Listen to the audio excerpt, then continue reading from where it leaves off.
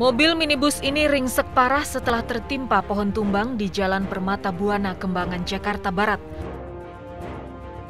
Pohon mahoni berusia lima tahun ini tumbang saat hujan deras dan angin kencang melanda ibu kota pada Rabu sore. Beruntung saat kejadian pemilik mobil tidak berada dalam kendaraannya. Ada satu pohon yang paling tumbang yang paling besar, pohon tumbang yang paling besar. Yang lainnya pohon-pohon kecil tapi tumbang di dalam yang mengenai mobil tiga mobil, yang parah satu mobil, yang dua mobil bisa dibawa pulang.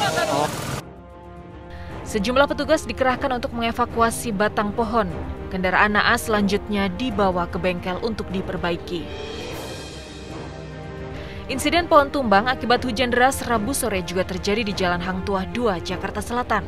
Pohon trembesi berdiameter 40 cm tumbang dan melintang di badan jalan hingga memicu kemacetan. Batang pohon juga menimpa sejumlah kabel listrik. Puluhan petugas Dinas Kehutanan dan pemadam kebakaran diterjunkan untuk mengevakuasi batang pohon. Aliran listrik juga dipadamkan agar tidak membahayakan petugas.